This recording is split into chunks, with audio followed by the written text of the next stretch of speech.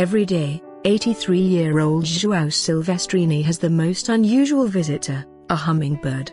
It flies in and out of the kitchen window of his Brazil home several times a day, stopping for a chirpy chat and a drink of sugar water. The story of the unusual friendship between man and bird has become popular on Facebook, after Joao filmed the bird and posted the video online, last month.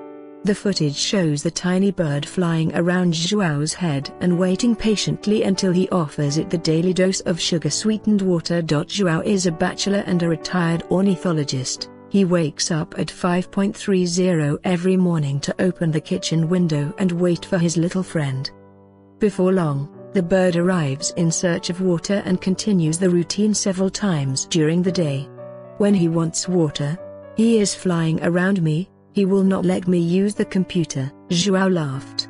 I like animals and always put sugar water for the hummingbirds in the backyard, but this one is shameless, he added. I talk to him, try to get closer, but he does not care for me.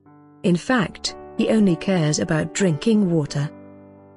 Joao said that he isn't surprised by this unusual behavior, because the bird seems to have become accustomed to human presence since it was very young.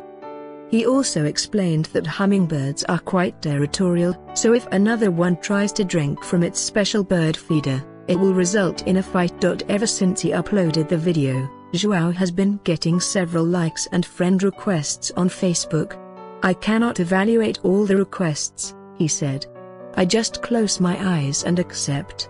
He is quite amazed at all the positive response. He explained that he only meant to share it with his friends and relatives, and he did not expect to become famous because of it. As much as he enjoys the hummingbird's companionship, Joao knows that it will be short-lived. He realizes that as the bird grows, it will become more independent and seek food from other sources. It is already growing, it is almost an adult and will eventually leave.